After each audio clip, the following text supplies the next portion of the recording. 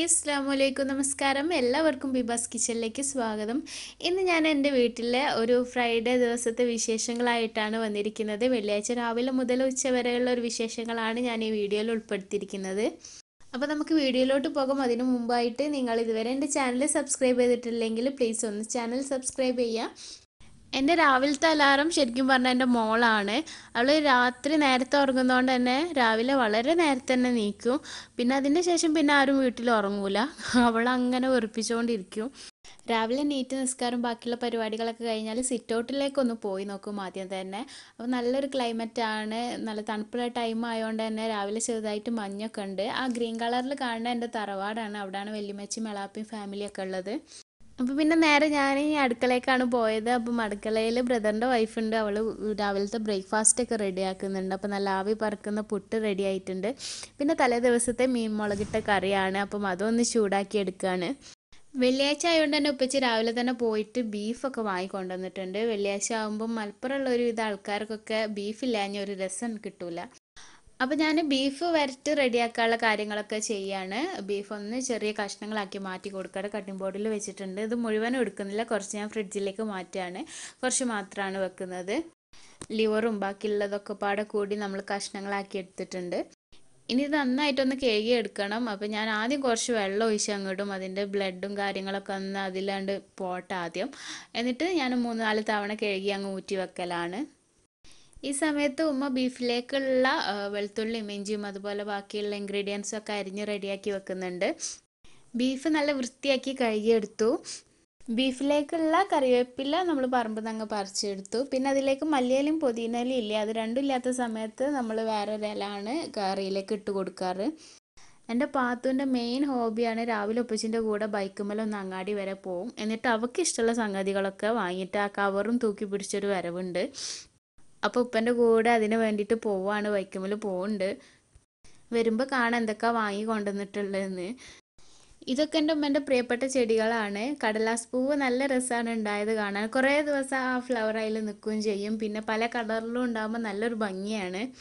ഇവിടെ അത് വെച്ച് പാഷൻ ഫ്രൂട്ടിന് പന്തലൊക്കെ ഇട്ട് കൊടുത്തിട്ടുണ്ട്. എനിക്ക് ഹസ്ബൻഡിനൊക്കെ ഭയങ്കര ഇഷ്ടമുള്ള ഫ്രൂട്ടാണ് പഞ്ചസാര ഇട്ട് കഴിക്കാനും ജ്യൂസാക്കി കഴിക്കാനൊക്കെ നല്ല ടേസ്റ്റാണ് അത് ഉണ്ടാവുന്ന സമയത്തൊന്നും ഞാനിവിടെ ഉണ്ടാവില്ല. അതാണ് മെയിൻ പ്രശ്നം.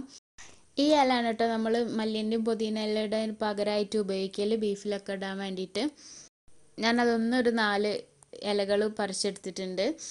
ഇനി ബീഫ് അടുപ്പത്താക്കാനുണ്ട്. വിറകടുപ്പിലാണ് വെക്കുന്നത്. ഒരു വലിയ ചെമ്പട്ടി എടുത്തിട്ടുണ്ട്. അതിലേക്ക് അരിഞ്ഞു വെച്ച ഉള്ളിയും അതുപോലെ തക്കാളിയും പച്ചമുളകും ഇട്ട് കൊടുക്കുകയാണ് കൂടാതെ മിക്സിയിൽ ചതച്ച് വെച്ച ചുവന്നുള്ളിയും വെളുത്തുള്ളിയും ഇഞ്ചും കൂടി ചേർത്ത് കൊടുക്കുക ഇനി നേരത്തെ എടുത്തിരുന്ന ഇല അരിഞ്ഞിട്ട് കൊടുക്കാം. അതിന്റെ പേരെന്താണെന്ന് എനിക്ക് ശരിക്കും അറിയില്ല. അതിന്റെ കറക്റ്റ് പേര് ആർക്കെങ്കിലും അറിയുകയാണെങ്കിൽ ഒന്ന് പറഞ്ഞു തരിക പിന്നെ കറിവേപ്പിലാണ്. കറിവേപ്പിലും കൂടി അരിഞ്ഞിട്ട് കൊടുക്കാം.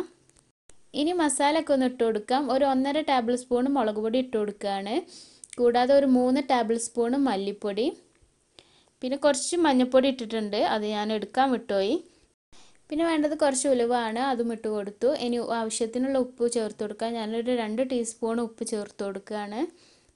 ഇനി ഇതിലേക്ക് നമ്മൾ കഴുകി ഊറ്റി വെച്ചിരിക്കുന്ന ബീഫ് ഇട്ട് കൊടുക്കുകയാണ്. എന്നിട്ട് കൈകൊണ്ട് നന്നായിട്ട് എല്ലാം കൂടെ മിക്സ് ചെയ്തെടുക്കാം. ബീഫിൽ നിന്ന് തന്നെ അത്യാവശ്യം വെള്ളം ഇറങ്ങി വരും. നമ്മൾ കൈകൊണ്ട് നന്നായിട്ട് എല്ലാ ഭാഗത്തേക്കും മസാല ആവുന്ന രീതിയിൽ നന്നായിട്ട് മിക്സ് ചെയ്തെടുക്കാം. പിന്നെ ഞാനൊരു ഗ്ലാസ് വെള്ളം കൂടി ഒഴിച്ചു കൊടുത്തിട്ടുണ്ട്.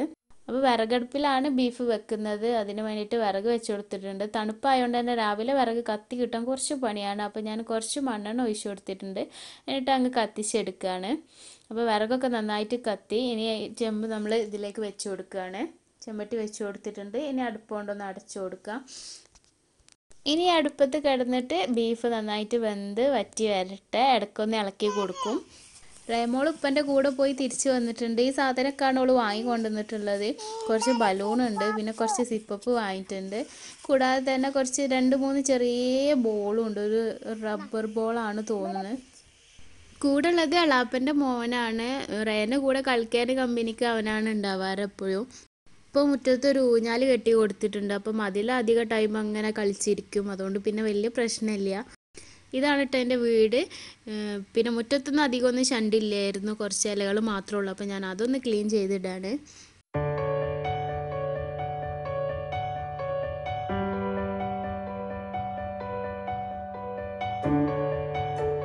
ഡ്രസ്സ് അലക്കാനുള്ളതൊക്കെ അലക്കി കഴിഞ്ഞിട്ടുണ്ടായിരുന്നു. അപ്പോൾ അതൊക്കെ ഒന്ന് അയലിലിട്ട് കൊടുക്കുകയാണ് ഇടയ്ക്കൊന്ന് ബീഫിന്റെ മൂടി തുറന്നിട്ടൊന്ന് ഇളക്കി കൊടുക്കും. അടിയിൽ നന്നായിട്ട് തീ കത്തുന്നതുകൊണ്ട് തന്നെ ഒന്ന് ശ്രദ്ധിക്കണം. പെട്ടെന്ന് അടി പിടിച്ച് പോയാലോ വെച്ചിട്ട് ഇടയ്ക്കൊന്ന് തുറന്നൊന്ന് ഇളക്കി കൊടുക്കും. ഞാൻ വീടിന്റെ ഉൾഭാഗമൊക്കെ ഒന്ന് ക്ലീൻ ആക്കുകയാണ് ബെഡ്ഷീറ്റും അതുപോലെ റൂമിൽ വലിച്ചു വാരിയിട്ടതൊക്കെ ഒന്ന് മടക്കി ഒതുക്കി വെക്കുകയാണ് മോളെ വകാൻ അത്യാവശ്യം കുറേ സാധനങ്ങൾ അവിടെ ഇവിടെയൊക്കെ വലിച്ചിടും. പിന്നെ രാത്രി എഡിറ്റിംഗ് കഴിഞ്ഞിട്ട് ലാപ്ടോപ്പ് കച്ചയിൽ അങ്ങ് കിടന്നുറങ്ങാറാണ് പതിവ്. അപ്പോൾ അതൊക്കെ ഒന്ന് റെഡിയാക്കി വെക്കട്ടെ. പിന്നെ രാവിലെ മോക്ക് ഫുഡ് കൊടുക്കാണ്ടായിരുന്നു. അപ്പോൾ ഞാൻ ഫുഡായിട്ട് പുറത്തേക്ക് ഇറങ്ങലാണ്. കാരണം കളീന്റെ ഇടയിൽ നമുക്ക് കൊടുക്കുമ്പോൾ വലിയ ബുദ്ധിമുട്ടുണ്ടാവില്ല. പെട്ടെന്ന് പെട്ടെന്ന് അങ്ങ് കഴിച്ചോളും.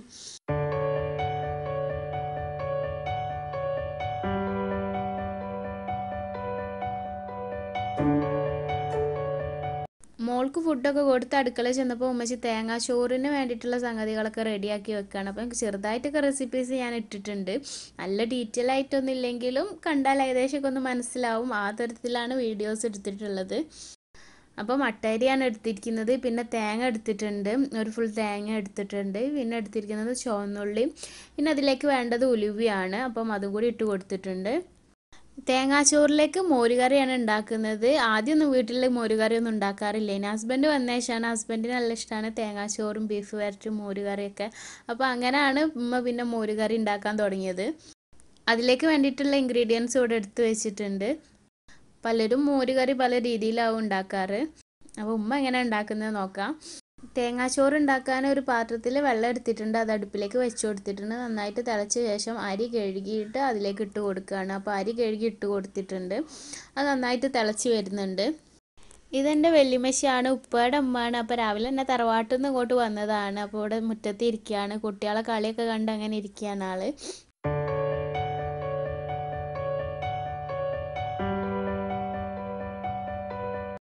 ഞാൻ അടുക്കള വന്ന് നോക്കിയപ്പോൾ ഉപ്പച്ചി ഇവിടെ ബീഫ് വെന്തണോ നോക്കുകയാണ് ഉപ്പാണ് അത് നോക്കുന്ന ആൾ. ഞാൻ വീഡിയോ എടുക്കണത് ഉപ്പച്ചി കണ്ടിട്ടില്ല. അപ്പോൾ ഒരു ചെറിയൊരു ചമ്മലുണ്ട് മുഖത്ത്. ഇതെന്റെ അനിയനാണ്. അപ്പോൾ അവന് കോളേജിൽ പോവുകയാണ് ബാക്കിലിരിക്കുന്ന അവന്റെ ഫ്രണ്ടാണ് രണ്ടാളും ഒരുമിച്ചാണ് കോളേജിൽ പോണത്.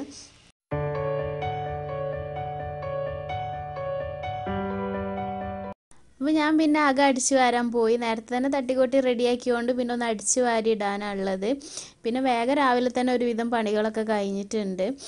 കുറച്ചൊരു പർച്ചേസിങ് ഉണ്ട്. അപ്പോൾ ജുമാന്റെ മുന്നായിട്ടാണ് അത് കഴിഞ്ഞിട്ട് വീട്ടിലേക്ക് തന്നെ എത്തണം. തേങ്ങാച്ചോറിലേക്ക് ആവശ്യമായിട്ട് വേണ്ട ഉപ്പിട്ട് കൊടുത്തു. ഇനി ഇതിലേക്ക് തേങ്ങയും ചുവന്നുള്ളിയും അതുപോലെ ഉലുവയുണ്ട് അപ്പം അതും കൂടി ഇതിലേക്ക് ഇട്ട് കൊടുക്കുന്നുണ്ട്. കുറച്ചും കൂടി വെള്ളത്തിന്റെ ആവശ്യമുണ്ട്. അപ്പം കുറച്ചും കൂടി വെള്ളം ഒഴിച്ചിട്ട് ഒന്ന് നന്നായിട്ട് മിക്സ് ചെയ്തിട്ട് വീണ്ടും അടച്ച് വെക്കുകയാണ് അപ്പം ഇനി മോരുകറി ഉണ്ടാക്കണം. അതിന് വേണ്ടിയിട്ട് ഒരു മിക്സിയുടെ ജാറിലേക്ക് തേങ്ങ ഇട്ട് കൊടുത്തിട്ടുണ്ട്. അതിലേക്ക് രണ്ട് മുളകാണ് എടുത്തിരിക്കുന്നത്. ഉണ്ടുമുളകാണ്. അത് രണ്ടെണ്ണം ഇട്ട് കൊടുത്തു. പിന്നെ ഒരു അഞ്ച് ചുവന്നുള്ളി ഇട്ട് കൊടുത്തിട്ടുണ്ട്. പിന്നെ രണ്ട് വെളുത്തുള്ളിയും കൂടിയാണ്. ഇനി ഇതിലേക്ക് ചെറിയ ജീരകം വേണം. അപ്പോൾ ഒരു ടീസ്പൂൺ അളവിൽ ചെറിയ ജീരകവും കുറച്ച് മഞ്ഞൾപ്പൊടിയും കൂടി ഇട്ട് കൊടുത്തിട്ടുണ്ട്. ഇനി കുറച്ച് വെള്ളം ഒഴിച്ചിട്ട് അത് നന്നായിട്ടൊന്ന് അടിച്ചെടുക്കുക. അപ്പോൾ തേങ്ങ അരച്ചെടുത്തത് ഒരു പാത്രത്തിലേക്ക് മാറ്റിയിട്ടുണ്ട്. ഇനി തൈരും ആ മിക്സിയിൽ തന്നെ ഇട്ടൊന്ന് അടിച്ചെടുക്കുകയാണ് കട്ടായിട്ട് നിൽക്കുന്നല്ലോ അപ്പോൾ നന്നായിട്ട് ലൂസായി കിട്ടാൻ വേണ്ടിയിട്ട് ആ മിക്സിയിൽ തന്നെ ഇട്ടൊന്ന് അടിച്ചെടുത്തു. കറി ഉണ്ടാക്കാൻ ഒരു പാത്രം അടുപ്പിൽ വെച്ച് കൊടുത്തിട്ടുണ്ട്. ഒന്ന് ചൂടായി വരുമ്പം അതിലേക്ക് തേങ്ങ നമ്മൾ അരച്ച് വെച്ചത് ഒഴിച്ചു കൊടുക്കുകയാണ്. പിന്നെ കൂടാതെ തന്നെ മിക്സിയിൽ അടിച്ച് വെച്ചിരുന്ന തൈരും കൂടി ഒഴിച്ചു കൊടുത്തു. പിന്നെ മിക്സി ഒന്ന് കുറച്ച് വെള്ളം ഒഴിച്ച് ഒന്ന് കഴുകി അത് ഒഴിച്ചു കൊടുത്തിട്ടുണ്ട്. ഇനി ഇതിലേക്ക് ആവശ്യത്തിന് വേണ്ട ഉപ്പ് ചേർത്ത് കൊടുത്ത് ഇളക്കുക. ഒന്ന് തിള വരുമ്പോൾ ഫ്ലെയിം ഓഫ് ചെയ്തിട്ട് അധികം തിളയ്ക്കാൻ സമ്മതിക്കരുത്. തൈരും തേങ്ങയൊക്കെ പാടെ പിരിഞ്ഞു പോവും. മോരുകറി തിളച്ച ശേഷം നമ്മൾ ഫ്ലെയിം ഓഫ് ചെയ്തിട്ടുണ്ട്. ഇനി ഒന്ന് വറവിട്ടെടുക്കണം. അപ്പോൾ അതിന് വേണ്ടിയിട്ട് ഒരു പാത്രം വെച്ച് കൊടുത്തിട്ടുണ്ട്. പാത്രം ചൂടായ ശേഷം കുറച്ച് വെളിച്ചെണ്ണ ഒഴിച്ചു കൊടുത്തു. വെളിച്ചെണ്ണയിലേക്ക് കടുക് ഇട്ടൊന്ന് പൊട്ടിച്ചു കൊടുത്തു. അതിലേക്ക് പിന്നെ കുറച്ച് കറിവേപ്പിലയും കൂടി ഇട്ട് കൊടുത്തിട്ടുണ്ട്. അപ്പം ഈ വറവിട്ടത് നമ്മൾ നേരെ കറിയിലേക്ക് അങ്ങ് ഒഴിച്ചു കൊടുക്കുകയാണ്. അപ്പോൾ നമ്മുടെ മോര് കാച്ചിയത് റെഡി ആയിട്ടുണ്ട്. പിന്നെ പപ്പടം പൊരിക്കാനുണ്ടായിരുന്നു അപ്പം പപ്പടം പൊരിച്ചെടുത്തു. അതിന്റെ ഇടയിൽ ക്ലീനിങ്ങും കാര്യങ്ങളൊക്കെ കഴിഞ്ഞിട്ടുണ്ട്. തേങ്ങാച്ചോറ് നല്ല വെന്ത് പാകമായിട്ടുണ്ട് പിന്നെ ബീഫുമാണ് ബീഫും റെഡി ആയിട്ടുണ്ട്. ഒരു പത്ത് പത്തേകാലായപ്പോൾ തന്നെ വീട്ടിൽ ഏകദേശം എല്ലാ പണികളും കഴിഞ്ഞിട്ടുണ്ട്. ഞാൻ നേരത്തെ പറഞ്ഞ പോലെ തന്നെ കുറച്ച് പർച്ചേസിങ് ഉണ്ട്. ഞാൻ തിരിച്ച് ദമാമിലേക്ക് പോകുമ്പം കൊണ്ടുപോകാനുള്ള ആണ്. മല്ലി മുളകൊക്കെ വാങ്ങിയാലോ ഒന്ന് ഉണക്കി പൊടിച്ചൊക്കെ ഒന്ന് റെഡിയാക്കാനുണ്ട് അപ്പോൾ ഇപ്പോൾ വാങ്ങിയാലൊക്കെ ഒന്ന് പെട്ടെന്ന് റെഡിയാക്കാമല്ലോ വെച്ചിട്ട് ഉപ്പന്റെ കൂടെ സാധനങ്ങളൊക്കെ വാങ്ങാൻ വേണ്ടി പോവുകയാണ് നമ്മളടുത്തുള്ള അങ്ങാടിയാണ് പുളിക്കൽ അങ്ങാടിക്കാണ് പോണത്. ഒന്ന് ടെക്സ്റ്റൈൽസിലൊന്ന് കയറണം കുറച്ച് ഡ്രസ് മെറ്റീരിയൽ എടുക്കാണ്ട്. അതിന്റെ ശേഷം ഒന്ന് സൂപ്പർ മാർക്കറ്റിലും കയറിയിട്ട് ആവശ്യമുള്ള സാധനങ്ങൾ വാങ്ങിയിട്ട് തിരിച്ചു വരണം എന്നാണ് പ്ലാന് ഉപ്പക്ക് ചുമ്മാക്ക് പോണതിന്റെ മുന്നായിട്ട് തന്നെ വീട്ടിലെത്തണം.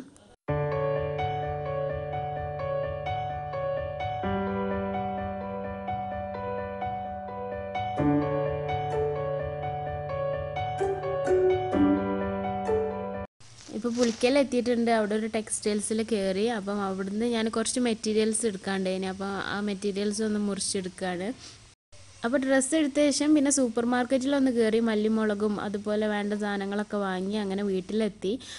പ്ലാസ്റ്റിക് നിരോധിച്ചതിന്റെ മറ്റൊരു ഫാക്റ്റാണിത് നമ്മൾ പ്ലാസ്റ്റിക്കിൽ പൊതിഞ്ഞ സകലമാന സംഗതികളും വാങ്ങിയിട്ടുണ്ട്. പിന്നെ നമ്മൾ അതെല്ലാം കൂടി ഇടാൻ വേണ്ടിയിട്ട് കവർ വയ്ക്കുമ്പോൾ കവറില്ല കേട്ടോ നിരോധിച്ചതെന്നാണ് പറയുന്നത്. ഇനി ഏതായാലും അതൊക്കെ ഒന്ന് ശീലാവാൻ കുറച്ച് സമയം എടുക്കും നമുക്ക്. എന്തായാലും നമുക്കും അതിന്റെ ഒരു ഭാഗമാവാം. ഉപ്പ് പള്ളിയിൽ നിന്ന് ഇറങ്ങി വന്ന ശേഷം പിന്നെ ഞങ്ങൾ എല്ലാവരും കൂടി ഫുഡൊക്കെ കഴിച്ചു. അപ്പോൾ ഇത്രയൊക്കെയാണ് ഉച്ചവരെയുള്ള വിശേഷങ്ങൾ നിങ്ങൾക്ക് വീഡിയോ ഇഷ്ടപ്പെട്ടാൽ ലൈക്ക് ചെയ്യുക ഷെയർ ചെയ്യുക കമന്റ് ചെയ്യുക. പിന്നെ നിങ്ങൾക്ക് എന്റെ ചാനൽ ഇഷ്ടമാവുന്നുണ്ടെങ്കിൽ തീർച്ചയായും സബ്സ്ക്രൈബ് ചെയ്യാൻ മറക്കരുത്. താഴെ ഒരു റെഡ് സബ്സ്ക്രൈബ് ബട്ടൺ കാണുന്നില്ല. അതൊന്ന് ക്ലിക്ക് ചെയ്യുക അതിന്റെ കൂടെ ഒരു ബെല്ലൈക്കണും കൂടി വരും.